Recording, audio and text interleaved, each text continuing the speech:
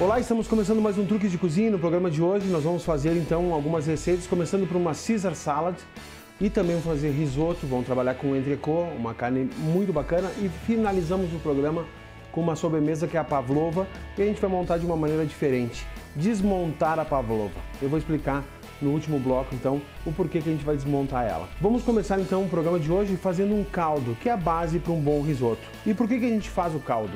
Porque ele é muito mais saudável do que usar o tabletinho. Se você quiser utilizar o tablete, sem problema, dilua em água e depois, na maneira que a gente vai fazer o risoto, você vai entender por que, que o caldo é tão importante. É a base de um bom risoto. Então vamos lá. Eu tenho aqui, eu já cortei, cenoura, eu tenho alho poró e tenho salsão. Para quem não conhece, o salsão é o aipo, certo? A gente usa só a parte dos talos e descarta uh, as folhas. Importante que, se você não encontrar o salsão no mercado, pode substituir pelo alho poró sem problema nenhum. Então, cebola, a gente vai cortar grosseiramente e esses ingredientes eles vão ser tostados na panela e vão liberar o sabor para a água, transformando num caldo. Já tem uma panela aqui no fogo, eu vou acrescentar um pouquinho de azeite de oliva, tem gente que não usa o azeite porque o caldo é neutro, mas eu gosto de utilizar um pouquinho do azeite para tostar os ingredientes e eles não queimarem, para não transferir um sabor amargo para a receita. Então, vamos começar com a cebola. Vou acrescentar também a cenoura. Cortar aqui o talo do salsão.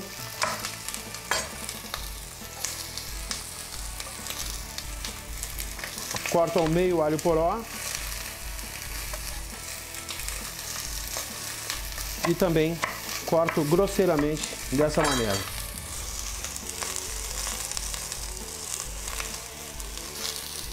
Agora a gente vai tostar esses ingredientes, vamos dourar eles um pouquinho.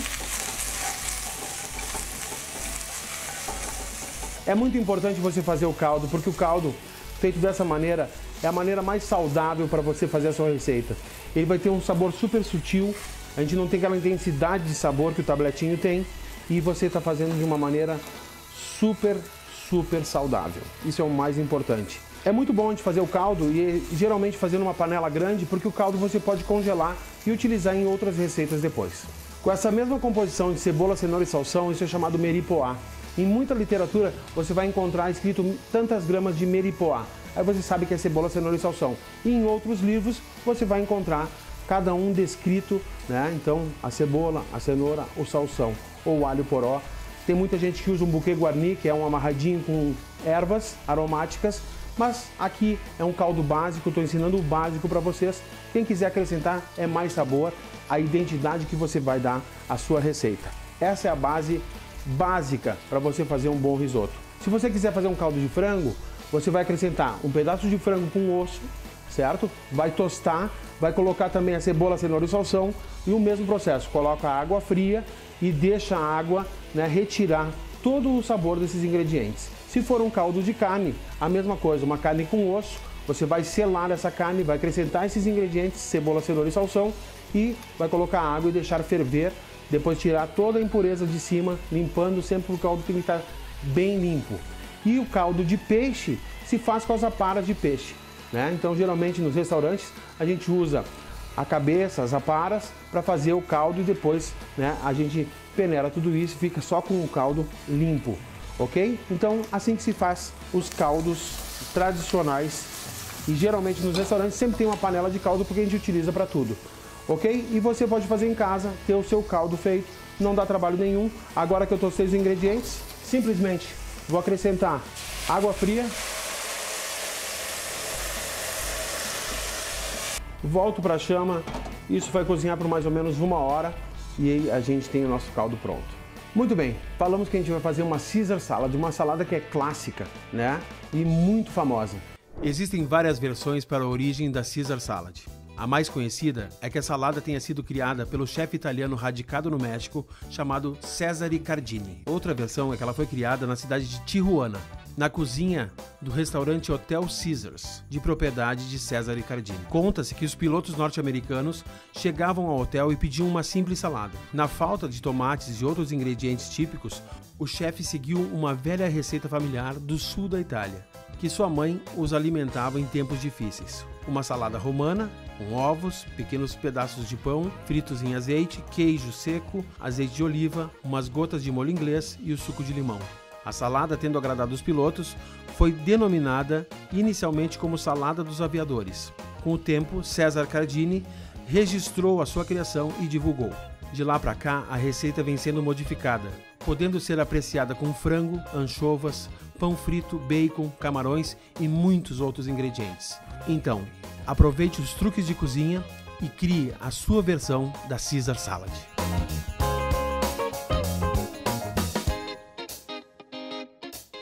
Para começar, a gente precisa fazer o molho dessa salada. O que, que a gente vai precisar? Vou pegar o pilão, um filezinho de anchova, e aí você me pergunta, ah, mas por que anchova? Vai ficar com gosto de peixe? Não. O caso, usando sutilmente a anchova, o filé de anchova, você tem intensidade de sabor e é utilizado em diversas receitas, né? principalmente na Itália, para se intensificar sabor de molhos Fique tranquilo que não vai ficar com aquele sabor intenso de peixe, a não ser que você coloque demais. Um filezinho é o necessário. Macerando a anchova, vou fazer uma pastinha dela aqui. Algumas receitas você encontra maionese, se utiliza maionese no molho da Caesar. Vamos fazer de uma maneira mais saudável. O que, que eu vou utilizar aqui? Iogurte natural. 300 ml, uma colher de mostarda Dijon, uma colher de sopa de molho inglês, tem aqui raspas de limão siciliano. Vou cortar então o limão e vou utilizar o suco de meio limão.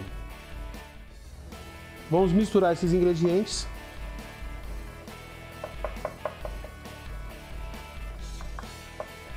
Parmesão ralado. Ralado na hora, por favor, um bom parmesão.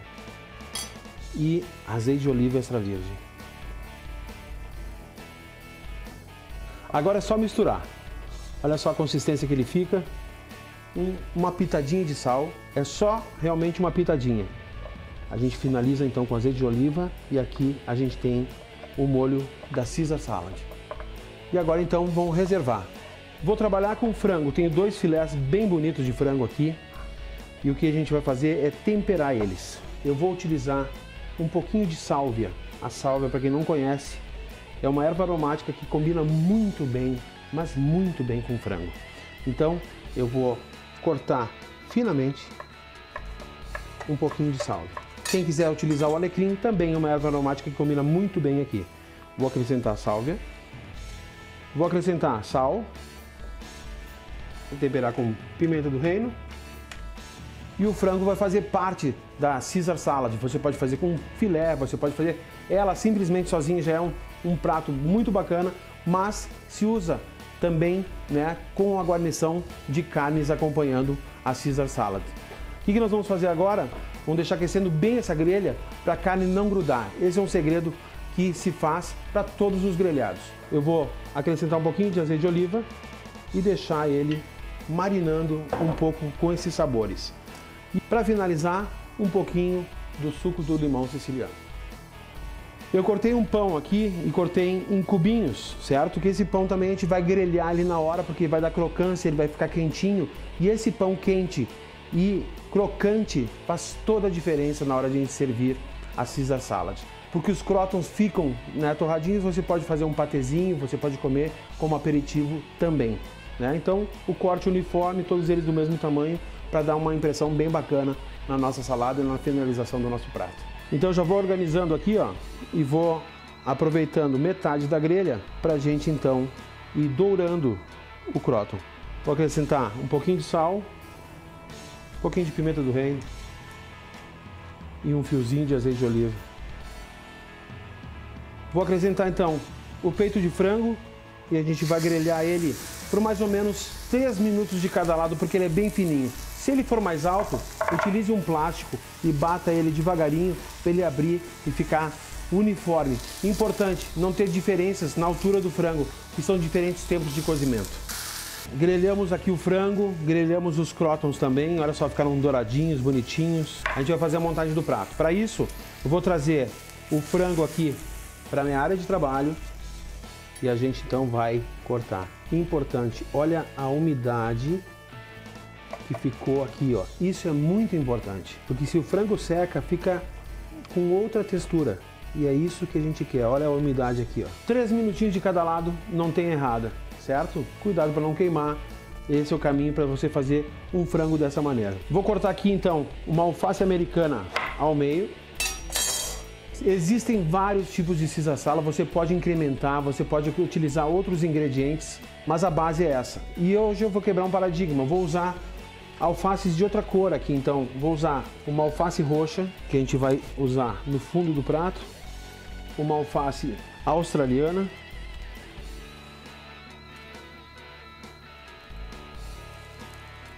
A gente vai organizando aqui, ó. Vou tirar um pouco da, da base aqui. E em cima disso, a gente vai utilizar, dando altura, a alface americana. Os crótons que a gente dourou. E faz toda a diferença você servir dessa maneira, porque a crocância está ali, dá essa diferença de temperatura. Realmente a crocância é importante nesse ingrediente da salada. Utilizamos também o frango que a gente grelhou. O que a gente vai fazer? acrescentar o molho. Não precisa encher, é um toque sutil, ele é um pouquinho ácido, tem essa questão do limão siciliano, tem a intensidade de sabor que a anchova deu, o toque da mostarda, né? O iogurte natural, então, menos pesado do que usar maionese e você pode realmente usar esse molho para diversos tipos de salada, não só Caesar. Vamos quebrar paradigmas. Um bom azeite de oliva extra virgem uma bela Caesar salad, um prato completo com frango grelhado, uma bela salada. Risoto é sempre o mesmo padrão. Você vai aprender o passo a passo aqui. A finalização do risoto que dá nome a ele. Risoto de shiitake, que é o que a gente vai fazer hoje, uh, um risoto de camarão e assim por diante. Geralmente a gente grelha esses ingredientes e reserva e ele entra na finalização do risoto, ok? Qual é o primeiro passo para o risoto? Uma cebola extremamente bem picada. Já vou aquecer a panela e eu vou fazer uma pequena porção. Vou fazer para duas pessoas. Vou acrescentar um pouco de manteiga, um pouco de azeite de oliva. Primeiro passo do risoto é esse, então, dourar bem a cebola. Uma pitadinha de sal ajuda que a cebola não queime tão rápido.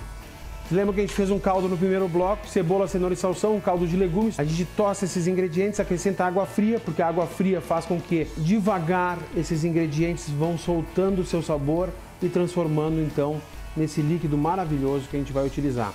Então vamos cuidar aqui da cebola, o caldo já foi coado, a gente coou, retirou todos os ingredientes, então eles não têm mais utilidade porque eles já passaram o sabor para a receita, mas se você quiser utilizar esses ingredientes, você pode criar alguma receita sua, né? Mas eles têm muito menos sabor, menos intensidade e que já fizeram o papel deles, né? Que é transferir o sabor para o caldo.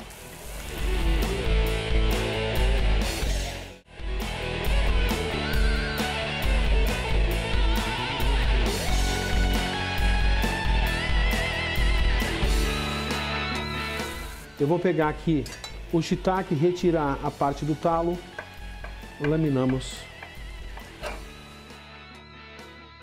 Cebola bem dourada, vou retirar da chama. E agora vem um truque de cozinha.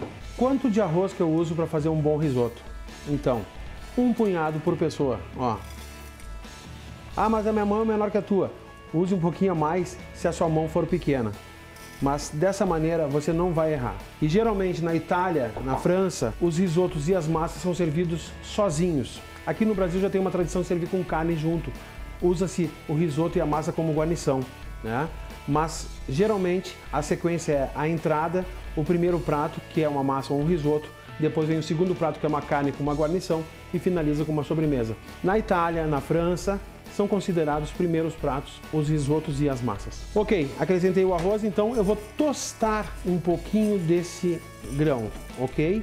Aqui eu estou usando o arroz arbóreo, pode ser o carnaroli ou pode ser outros tipos de arroz que são próprios para fazer risoto. O arroz tem o grão mais curto, olha aqui gente, tá? Então, o que acontece? Ele é muito mais rico em amido, que o amido é um espessante, né? Então tem o amido de milho, o amido do arroz, e uh, isso faz com que o risoto fique muito mais cremoso do que utilizar o arroz normal. Mas agora a gente encontra em qualquer supermercado. Então a gente cresceu comendo o risoto feito com arroz comum. Então, tostamos aqui o grão, um bom vinho branco, tá? Eu vou deglaçar o fundo e vou acrescentar então, nesse caso aqui, meio cálice de vinho branco. Eu estou fazendo pouca quantidade, certo? Se for uma quantidade maior, vai um cálice de vinho branco. Vou deixar o álcool evaporar, só deixar o sabor do vinho bem sutil. E risoto é um prato que é bem legal de fazer porque ele é rápido, né? Tem essa questão de ficar mexendo, porque quanto mais a gente mexer, mais cremosidade a gente vai retirar desse grão e a gente vai ter uma finalização melhor. E o risoto é um prato que é muito prático para você que está morando sozinho, você que é um jovem casal, né? E também para você servir junto com carnes, né? Realmente é muito versátil e existem inúmeras receitas que você pode fazer. Só de legumes para quem é vegetariano, quer utilizar carne, quer usar cordeiro. Então moranga com carne seca, tomate seco com rúcula e assim vai. São inúmeras as receitas. Ou simplesmente um risoto alla milanese, que é só feito com parmesão ralado, finalizado como a gente vai mostrar para vocês aqui. Então, o vinho evaporou e agora é acrescentar o caldo. E a gente vai acrescentando o caldo aos poucos. Então, a gente vai colocar uma concha de caldo e um pouquinho mais na primeira vez. Aí, o que acontece? A gente solta bem ele e ele começa a engrossar. Quando ele começa a querer pegar no fundo da panela, a gente acrescenta mais caldo, ok? Não pode pegar no fundo.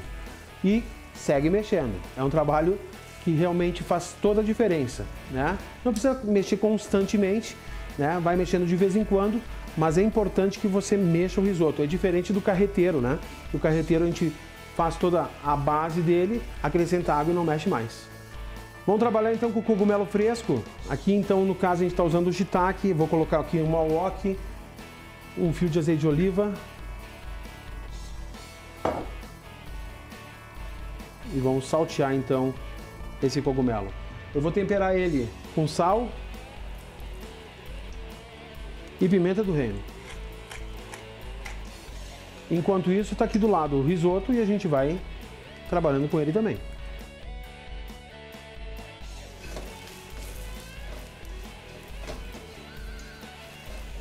Esse processo que eu estou fazendo aqui com o shiitake, você pode fazer com todos os ingredientes. Se você for fazer um risoto de aspargo, você vai tirar o talo que é mais fibroso, separar a flor, cortar a parte do meio do caule em rodelinhas ou em cubinhos menores, né? E fazer esse mesmo trabalho, saltear aqui para a gente intensificar sabor e esse ingrediente voltar para o risoto no final. Um risoto de camarão, um bom camarão limpo, né? Mesma coisa, o mesmo processo, salteia ele e reserva. Aí no fim ele vai finalizar o risoto e vai dar nome a esse prato que é um clássico da Itália. Já estou com o nosso shiitake pronto, vou reservar para ele voltar à cena na finalização do risoto. Muito bem, gente, olha só. Chegou na consistência certa, assim ele mantém a integridade do ingrediente, não vai se desmanchar e você não vai errar. Para finalizar risoto, a gente precisa também de uma técnica que se chama mantecar. Eu vou acrescentar então manteiga e vou acrescentar um bom parmesão ralado. E aqui você pode usar um queijo fontina, você pode usar um grão formaggio, você pode usar um grão padano, você pode usar diversos queijos que você tem em casa ou que você pode comprar e finalizar o seu risoto. E agora eu desligo a chama e vou então mexer rapidamente e misturar a manteiga que vai trazer brilho, vai trazer cremosidade. Eu tenho caldo que se ele tiver muito espesso, eu vou acrescentar um pouquinho para dar o toque certo na finalização do risoto. Agora eu vou colocar a tampa e deixar isso descansar por 3 minutinhos. Eu tenho aqui então uma bela peça de contrafilé, né, a parte do entrecô, como é chamada. Então, o que eu vou fazer é mais ou menos um corte de 2 centímetros, dessa maneira. Quem gosta de uma peça um pouco mais alta, aqui está um belo corte de entrecô. ou então o tradicional, que é mais ou menos 2 centímetros de altura. Importante, ela está na temperatura ambiente. Isso é o mais importante quando você for grelhar carnes. Ou você fazer na churrasqueira, sempre está com a carne na temperatura ambiente. Pimenta do reino. E vou passar um pouco de azeite de oliva e passar na carne. Assim evita fumaça excessiva e o desperdício do azeite. A grelha está bem quente. Vou acrescentar então o nosso corte.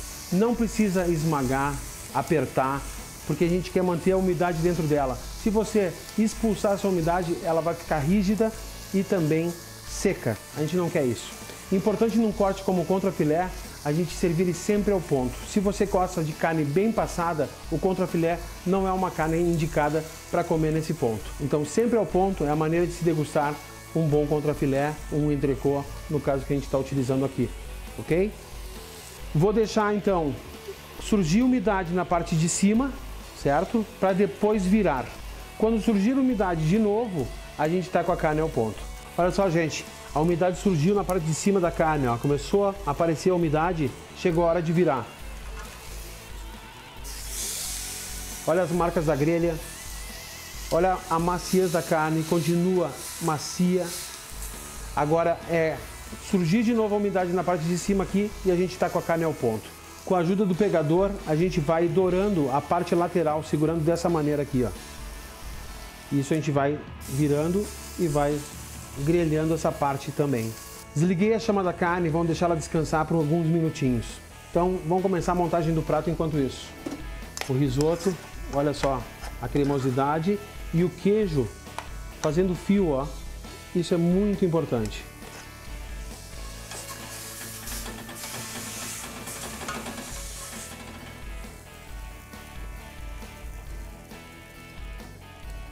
Ao lado então vou colocar o nosso corte de contrafilé, o entrecô, finalizo com um raminho de alecrim e tá aqui então um belo prato, né? Um risoto que seria um primeiro prato, mas aqui tradicionalmente a gente serve junto com uma carne e aqui então tá uma boa opção para você fazer na sua casa e o risoto, você aprendeu toda a técnica, é só seguir esse espaço que você nunca vai errar. Lembrando que a finalização dele é que dá nome a ele. O ingrediente que você finalizar você dá nome a ele. E o risoto de frutos do mar, camarão, por exemplo, ou outro tipo de risoto com frutos do mar, geralmente na Itália, eles não utilizam a finalização com a mantecagem, usar a manteiga e o parmesão, ok? Usa um azeite de oliva no final.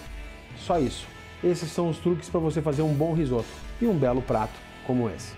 Muito bem, gente, vamos fazer a nossa sobremesa de hoje e é uma pavlova. A pavlova geralmente é um merengue, um disco de merengue e vai um creme por cima certo? E depois diversas frutas. Então, com frutas da estação ou só com frutas vermelhas. E a gente vai desconstruir, vamos montar ela numa taça, super fácil de fazer e todo mundo gosta. A pavlova é uma sobremesa em forma de bolo e à base de merengue, cujo nome é uma homenagem à bailarina russa Anna Pavlova.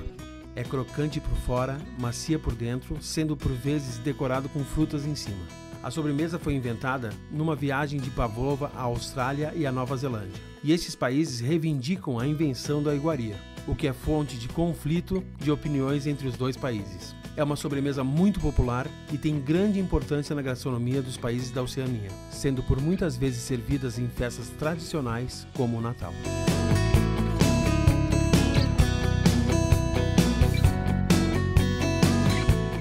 Claras de ovo e a gente vai então bater essas claras até fazer clara em neve.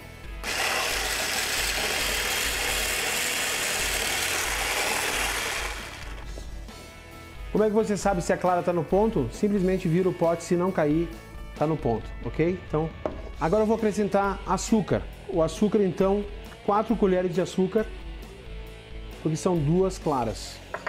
E vou acrescentar também uma colher de creme de leite fresco. Perfeito. Está aqui então o creme.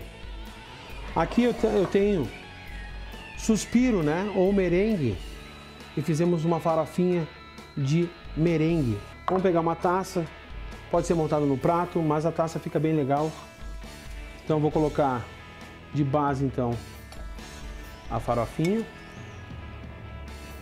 Vou colocar amoras e morangos. o creme.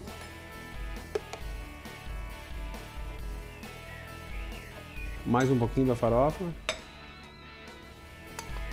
Então as lâminas de morango, mais umas amoras.